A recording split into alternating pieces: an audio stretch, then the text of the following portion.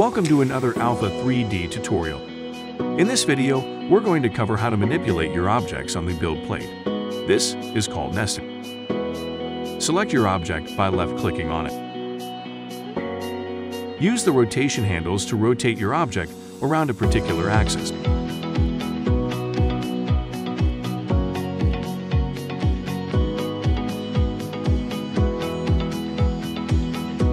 To pan or translate your view, right-click and hold an empty space, then move your mouse.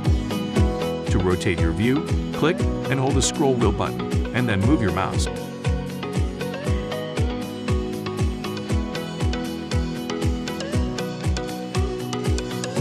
You can flip your object 180 degrees on either the X, Y, or Z axis by using the orientation buttons on the left side of the screen.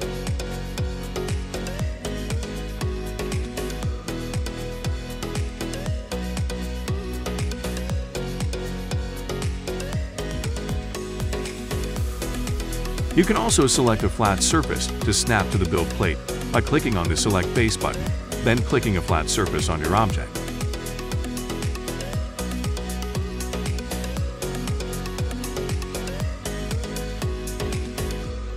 Now it's time to add supports. You can access the Supports menu from the Support tab at the top of the screen. There are three different types of supports you can choose from, and you can also select what kind of dental object you're printing for optimal preset support parameters. We're going to select Solid Model, since that's what we're printing in this video. Click the Auto Support button to automatically generate supports on your object.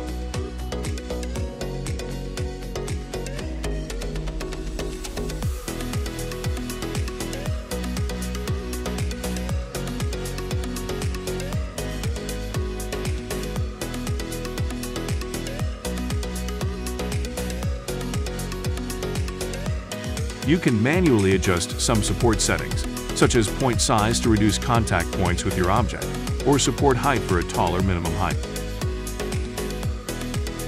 Click the Update button to apply these new settings.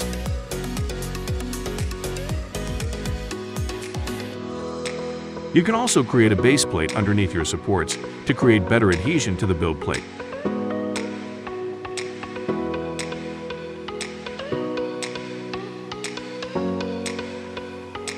If you want to delete all of the supports and start over, click the Delete Supports button.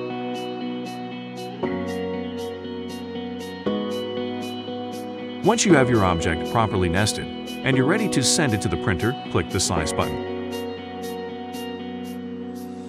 In the Slice menu, confirm that you have selected the correct printer model, resin manufacturer, resin type, and layer thickness.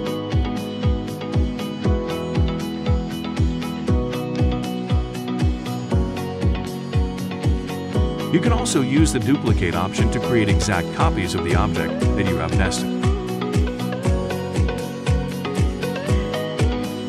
Simply enter the number of duplicates that you'd like, then click the Create button.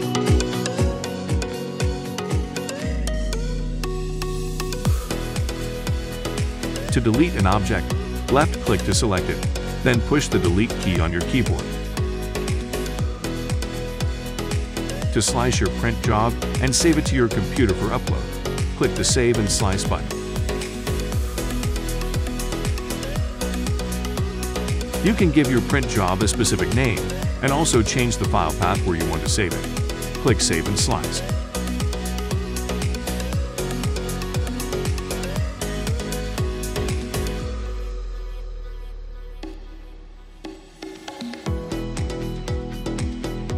Once it's complete, a new window will open showing you the IBF file that will go to the printer, and the 3DP file so you can reopen the job in your Alpha 3D software.